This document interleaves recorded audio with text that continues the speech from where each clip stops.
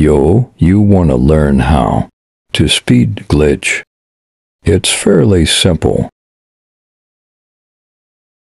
Firstly, change your thumbstick to classic.